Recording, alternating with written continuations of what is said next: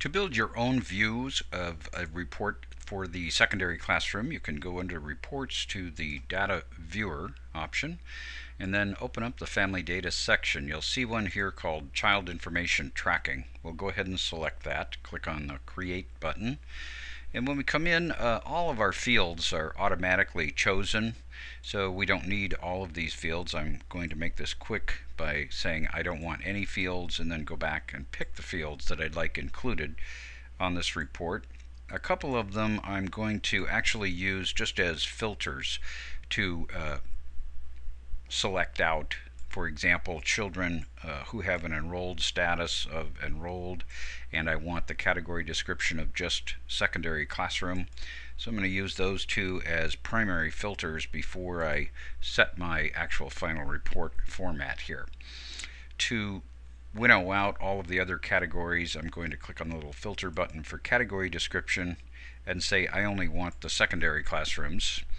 And then for enrollment status, I only want status of enrolled. Once I've made those two selections, I can go back to the Choose Fields option and remove the check marks uh, for those two. Even though I'm removing the fields, the filter will stay in force. And then at this point, more than likely what I would do is drag the item description up to the header bar because it's going to group them by the description. So in this case, it would be the after school uh, group followed by the go group and then followed by the kids club, latchkey, and lunch bunch. When you have a header like this and you go to print it, each one of these uh, headers will come out on a separate page.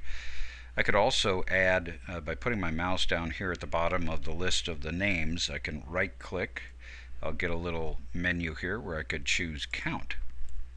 And that'll put in a count for each section.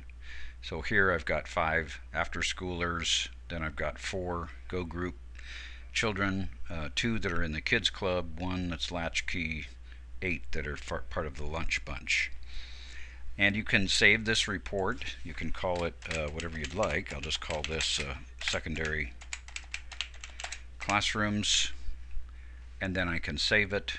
Once I've saved it here, anytime I come back to run this report, it will be listed right here under my child information and I can just choose the report, change my date right here, and it would only include children who are enrolled that have a, a secondary classroom item. And that's how you can create a data viewer report for your secondary classrooms.